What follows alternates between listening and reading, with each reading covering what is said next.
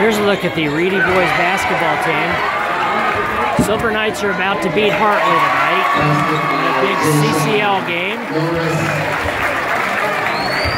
Hartley doesn't have three of their key players tonight because of uh, some various reasons. Uh, still a good win for Ready tonight.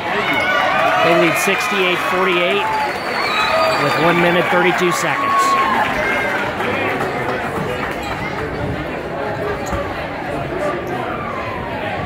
Hartley's PJ Daniels, number 31, commits his first foul. That's Hartley's sixth.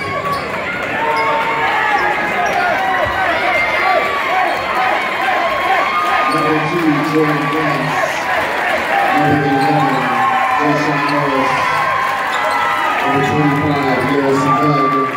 Number 34,